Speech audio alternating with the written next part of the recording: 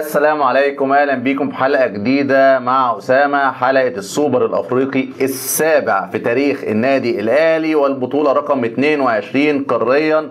لنقترب رويدا رويدا من ريال مدريد صاحب ال 26 بطولة. ألف مبروك لجماهير النادي الأهلي ألف مبروك لكل مسؤولي النادي الأهلي والجهاز الفني واللاعبين. بالتأكيد الفرحة حلوة بالتأكيد البطولات حلوة بالتأكيد اسم الأهلي هو الاسم الجاذب الأول للبطولات في قارة أفريقيا. ألف مبروك وألف حمد وألف شكر ليك يا رب على بطولة مهمة البطولة الرابعة بعد الدوري مع هذا الجيل الدوري دوري أبطال أفريقيا كأس مصر حتى برونزية كأس عالم الأندية. والنهاردة كمان بطولة السوبر يتبقى بإذن الله بطولة السوبر المحلي عشان تضع هذه البطولات.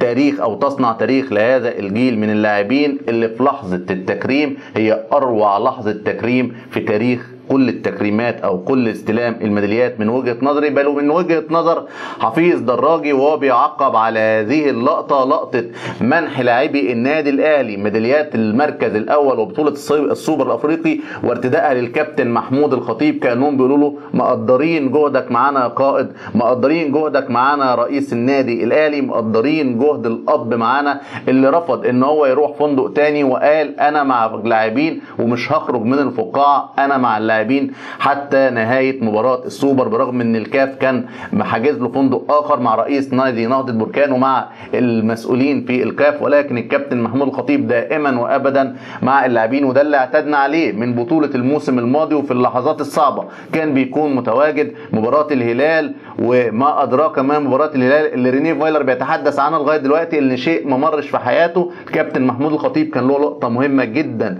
بعد المباراة وهو بيقول للجماهير إحنا معاكم ومش هنسيب المدرج إلا لما تطلعوا في سلام وأمان. هو ده رئيس النادي الأهلي هو ده القائد للنادي الأهلي. بعد كده نصعد مواجهة صعبة جدا جدا جنوب أفريقيا مع الموسم الماضي وكان قبلها في أحداث الخماسية الشهيرة. ولكن الكابتن محمود الخطيب بيسافر مع البعثة ويقف يهني اللاعبين بعد الصعود من على باب الفندق. ثم نذهب إلى الوداد في الدور قبل النهائي ونفوز على الوداد وهو متواجد على أرض الملعب وفي كل موقعة صعبة هتلاقي دايما صورة مش في الخلفية صورة في المقدمة قبل اللاعبين للكابتن محمود الخطيب رئيس النادي الأهلي أسطورة كرة القدم المصرية. ما بقاش في أي بطولة لم يحققها الكابتن محمود الخطيب. زي ما اتقال النهارده رئيس النادي الأهلي باستثناء بطولة وحيدة هي كأس العالم للأندية. نتمنى في يوم من الأيام النادي الأهلي يحقق هذه البطولة العظيمة.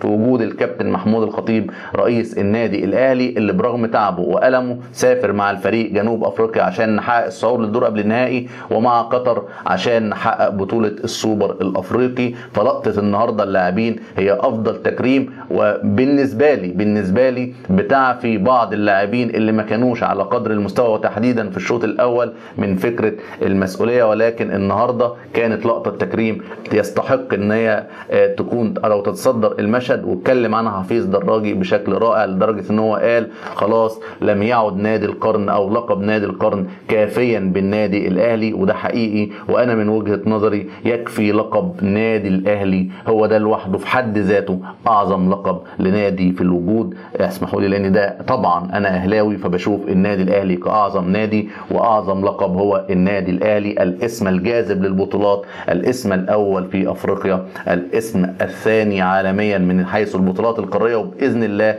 قريبا نكون الأول عالميا إن شاء الله من حيث البطولات الأفريقية. لقطة سجدة الكابتن محمود الخطيب هي نفس اللقطة اللي بتذكرنا بسجدة الكابتن محمود الخطيب بعد الانتصار الرباني في 27 نوفمبر للحق والخير على التجاوزات والخوض في الأعراض في لقطة مهمة جدا. ربنا دايما ينصرك ودايما ربنا دايما ينصر كل من هو على حق كل من هو لسانه أو عفيف اللسان كل من هو وضع المبادئ والأخلاق نصب عينيه على أي حد متجاوز وبالمناسبة دي بنشكر مجلس إدارة نادي الزمالك بقيادة الكابتن حسين لبيب على تهنئته لنادي الزمالك. بنشكر الكابتن حسين لبيب على عقابه لاثنين لاعبين من مواليد 2003 وكمان أحد المسؤولين في الجهاز الفني باللقطة السيئة باحتفالهم بالحذاء آه، في إشارة لشيكابالا أو احتفال شيكابالا لجماهير النادي الأهلي.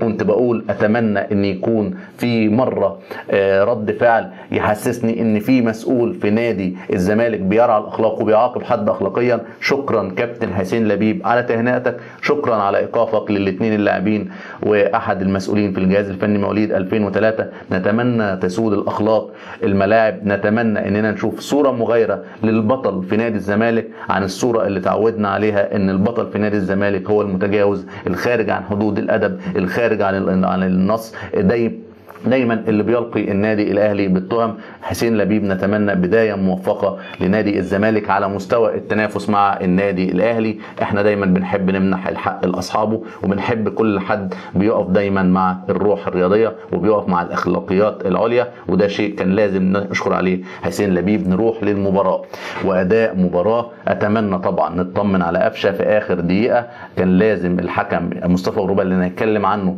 يدي إنذار للاعب دايو اللي كمان كان عنده إنذار قبل كده وكان يطرد ولكن ده مش مهم حاليا بقدر ما مهم محاولة الاطمئنان على قفشه بإذن الله نطمن غدا على إصابة قفشة وتكون بإذن الله بإذن الله سليمة. يعني كان بيستلم الميدالية وهو متأثر شيئا ما ولسه حتى هذه اللحظة ما جاتليش أنباء عن الإصابة وأعتقد هي هتبان بكرة. فنتمنى تكون إن شاء الله الإصابة بسيطة. ألف سلامات قفشة عنصر مؤثر جدا في النادي الأهلي هذا الموسم. فبالتالي نتمنى الاطمئنان عليه وكذلك الاطمئنان على محمد هاني. الحقيقة قدمنا شوط أول مش شوط اسم النادي الأهلي. مش ده اسم النادي الأهلي لم يكن موجود في الملعب في الشوط الأول غير جماهير النادي الأهلي هي اللي تقدر تقول عليها ممثلة للنادي الأهلي. على أرض الملعب لم يكن أحدا يمثل النادي الأهلي في الشوط الأول على الإطلاق. قدمنا شوط مش شوط النادي الأهلي خالص شوط سيء جدا ولكن مع الشوط الثاني قدرنا نتجاوز مرحلة الشوط الأول ونقدم شوط ثاني نستحق إن إحنا نحقق بيه لقب البطولة. وعجبني جدا فكرة تغيير بيتسو موسيماني مع بداية الشوط الثاني محمد ياسر إبراهيم وأيمن أشرف لأن الاثنين كان عندهم انذارات. نزل رامي ربيعة وعلي معلول أحد أهم مكاسب هذه المباراة. هو عوده علي معلول وحمدي فتحي ولكن تحديدا مع بداية الشوط الثاني كان لازم يكون في خروج لأيمن أشرف اللي خد انذار في الدقيقة 4 وياسر إبراهيم في الدقيقة 20 خاصة في وجود محمد فرحان في الجبهة دي. أوسكار جائزه أفضل ممثل لاعب في أفريقيا. الحقيقة كان بيت يعني بيتبارى مع ممثلين الهوليود في فكرة التمثيل وادعاء الإصابة شيء مستفز جدا بصراحة. أتمنى شيء يختفي بقى من الملاعب العربية. مشاهد التمثيل دي لأن الحقيقة محمد فرحان النهارده كان بيدعي الإصابة أكتر من مرة ويمكن عشان كده كان ربنا مش موفقه في اللقطة اللي حصلت أو اللقطة المضيئة في نهضة البركان في المباراة هي الانفراد بمحمد الشناوي. وضعها خارج المرمى لأن الشناوي قفل زوايا التمرير عليه بشكل كبير جدا. مع بداية الشوط الثاني قدرنا نشوف النادي الأهلي إلى حد بعيد حتى نزول صلاح محسن. صلاح محسن من وجهة نظري هو عريس الليلة في الملعب. هنتكلم عن هدف محمد شريف ولكن صلاح محسن تحديدا المباريات الأخيرة. واضح إن هو مركز في كرة القدم وبالتالي ربنا موفقه بشكل كبير جدا. وصلاح محسن من وجهة نظري مباراة جنوب أفريقيا ما كانش يبدأ المباراة ولكن كان يكون مع الشوط الثاني زي ما حصل النهارده لأن صلاح محسن بيبقى قاري الملعب بشكل كبير جدا. وهو قاعد بره ده رقم واحد. رقم اثنين اللياقة البدنية للفريق المنافس بتنخفض مع الشوط الثاني فبيكون صلاح محسن قادر إن هو يفوز في الالتحامات. كمان صلاح محسن اللي كنا بنغلط فيه الشوط الأول فكرة الكرات الطوليه اللي هي مش كره النادي الأهلي وعندنا محمد شريف لا يجيد ضربات الرأس وبالتالي كنا بنفقد كل الكرات الطوليه ومفيش سكند بول فكان في أداء سيء مع الشوط الثاني وتحديدا مع وجود صلاح محسن. بقينا نقدر نطلع على صلاح محسن اللي بيجيد ضربات الرأس وقدر إننا نلعب الكره الثانية بشكل كويس وتحركات صلاح محسن سواء كان wing right أو wing left بالتبادل مع طاهر محمد. طاهر كانوا بيجيد في الاثنين والحقيقة هدف صلاح محسن هو ماركه صلاح محسن ما يغمضلوش عين إلا لما يرقص حارس المرمى. خلاص هو ده صلاح محسن؟ جميل جدا في المهاجم إن هو يكون عنده ثبات عنده ثقة في نفسه بيقدر يسجل بهدوء حاجة في منتهى العظمة من صلاح محسن لو كمل عليها بتركيز في كرة القدم هيفرق كتير جدا جدا جدا في الجانب الأمامي مع النادي الأهلي. صلاح محسن الآن هو في ف- بين الأجنحة هو المتنفس للنادي الأهلي هو اللاعب اللي تقدر تثق فيه إن هو يقدر يهدد ويصنع خطورة وكمان عنده ثقة ومش بيخاف وده مهم جدا لأن الحقيقة مستوى طاهر محمد طاهر وحسين الشحات ما زال عليه علامات استفهام كتيرة برغم إن حسين الشحات صنع الجول الأول وطاهر ساهم في الجول الثاني ولكن في النهاية طاهر محمد طاهر تصويبه واحدة فقط لا غير اللي تصدى ليها زهير العروبي حسين الشحات زيرو تصويب على المرمى فبالتالي الوضع صعب جدا. جدا فلما بينزل صلاح محسن بالمحاولات دي ويسجل هدف بالثبات ده وكمان مع آخر دقيقة كان هيسجل الهدف الثاني لولا العارضة اللي تصدت لكرة صلاح محسن اللي بيجيد بشكل كبير جدا ألعاب الهوا. كان الهدف الأول عشان نمنح برضه محمد شريف حقه في لحظة إبداعية من محمد شريف. ما بتحصلش كتير في الملاعب. يمكن بتفكرنا بهدف عماد متعب اللي قرى تماما على مدحت عبد الهادي في د- بدوري أبطال أفريقيا. لف بيه نفس اللفة وحطها بشماله. نفس الكلام عمله محمد شريف وعجبني جدا إن محمد شريف بيبقى عارف وضعه من حيث المرمى فبالتالي بيكون كاشف بشكل كبير جدا زوايا المرمى وبيتوقع إن هو واقف في المكان الصح وبالتالي كان الكرة اللي المفترض فكرت يسندها للشحات ولكن لعمرو السولية ولكن هو سند بيمينه وحطها بشماله جون ولا أروع فتح المجال أمام النادي الأهلي لتحقيق البطولة طبعا الناس بتسأل عن محمد هاني وإزاي وهو مصاب قدر ينزل الملعب تاني الحقيقة كنا. آه، استنفذنا الخمس تغييرات والحقيقة من ضمن التغييرات الخمسة كان عندنا إيجابيات هي بدايه وجود أو نشوف كهربا تاني في الملعب هي عودة علي معلول للملعب عودة حمدي فتحي من الإصابة طبعا ده شيء بيدينا متنفس للنادي الأهلي عودة الإصابات وعودة الغيابات فنقدر مع الفترة القادمة نقدر نرجع تاني نقدم الأداء الم- المنتظر من النادي الأهلي ومن لاعبي النادي الأهلي طالما الفريق آه، بشكل كامل أو خلاص اكتملت الإصابات ويبقى عندنا البدائل اللي تقدر تعوض بعض القصور اللي موجودة في الملعب. مبروك للنادي الأهلي وجماهيره البطولة السبعه افريقيا. مبروك للسوبر طبعا. خلاص محمد الشناوي يستحق إن هو يرفع البطولة القارية الثانية ليه. محمد الشناوي من ساعة ما بقى قائد والحمد لله غرفه الملابس على قلب رجل واحد والحمد لله الحمد لله قادر إن هو يتصدى لكل الهجمات الخطيرة في الأوقات الحاسمة. ومحمد الشناوي يستحق إن هو يتحط بعد كابتن وائل جمعة. خلاص يا كابتن وائل وداعا لصورة 2014 آخر اتنين سوبر رفعهم الكابتن وائل جمعة. رفع النهارده محمد الشناوي عشان تبقى صورته. هي آخر صورة لسوبر أفريقي بالمناسبة النادي الأهلي لأنه النادي الأهلي بيكسر كمان مفاجآت أو آخر آه، حصول آه، فريق من بطل الكونفدرالية على السوبر آخر الموسمين أو آخر سنتين أو آخر نسختين. النادي الأهلي بطل أبطال الدوري بيكسر هذه القاعدة وبيحقق بطولة دوري أبطال بيحقق بطولة السوبر. وهو بطل دوري أبطال أفريقيا.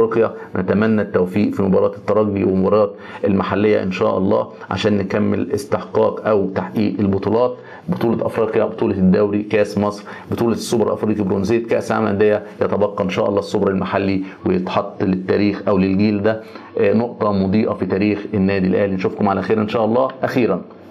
الأهلي خط أحمر رجع أول حلقة بعد مباراة صعبة لصن داونز كانت مباراة الصعود. انتظروا الأهلي خط أحمر إن شاء الله من 9 ل 11 بعد الفوز بالسوبر الأفريقي. أنا عارف إن ده نهائي دوري أبطال أوروبا موجود ولكن تحياتنا وتقديرنا لكل من يعني هيكون حريص على متابعة الأهلي خط أحمر السبت من 9 ل 11 بإذن الله وبإذن الله دايما الأهلي خط أحمر يكون وشه حلو على النادي الأهلي وبإذن الله يظل النادي الأهلي هو جاذب البطولات الأول في أفريقيا وأختم بمقولة حفيظ دراجي لما بيقول أنا بقتش عارف أحسد النادي الأهلي على جماهيره ولا أحسد جماهير النادي الأهلي على الفرحة اللي ولا ولا أحسد النادي الأهلي على الفرحة اللي بيقدمها لجماهيره. أرجوك يا كابتن حفيظ دراجي توقف عن الحسد من أجل استمرار البطولات. وكمان مصطفى غربال تفائلنا بيك في نهائي دوري أبطال أفريقيا نتفائل بيك في السوبر الأفريقي آخر بطولتين أفريقيتين كنت أنت الحكم ولكن يعني بين قوسين كده الإنذارات اللي كانت كتير للنادي الأهلي ما كانش مقابلها إنذارات لفريق آه، نهضة بركان ويمكن آخرها التدخل العنيف على آه، قفشة اللي يستحق على الأقل لو ما كانش في طرد على الأقل إنذار وكان هيبقى الإنذار الثاني لأن نفس اللاعب بيتدخل بعنف مع كل اللاعبين واخد إنذار في تدخله مع محمد الشناوي ولكن في النهاية بنتفائل بيك ولكن خد بالك من النقط اللي زي دي. نشوفكم على خير إن شاء الله. سلام.